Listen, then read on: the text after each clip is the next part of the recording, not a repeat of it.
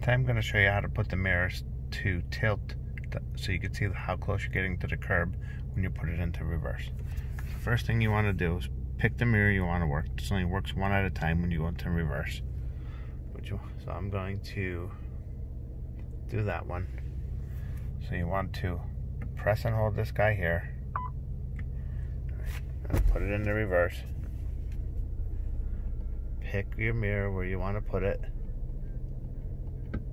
And then what you want to do, hold this guy right here. Alright, so now it should be programmed.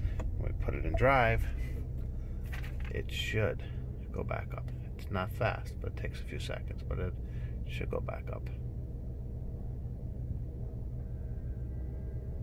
There you go. But that only does one mirror at a time. So if you want to use this mirror, you have to click it over to there, and then when you put it in reverse, you get it. And then when you put it back in drive.